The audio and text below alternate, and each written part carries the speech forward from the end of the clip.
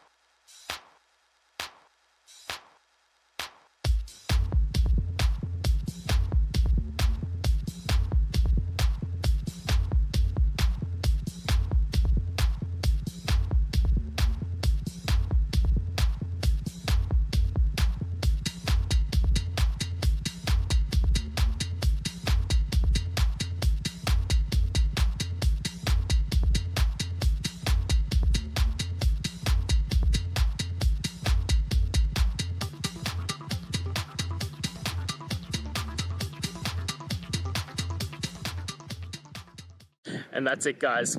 I hope we've gone through and found the answer that you're looking for. And look, if we did find that answer in your resolution, please hit the subscribe button. I'd really appreciate it. Now, until the next time you need technical videos, I hope you have a good one.